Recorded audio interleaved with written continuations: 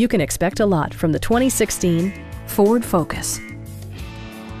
With just over 40,000 miles on the odometer, this four-door sedan prioritizes comfort, safety, and convenience.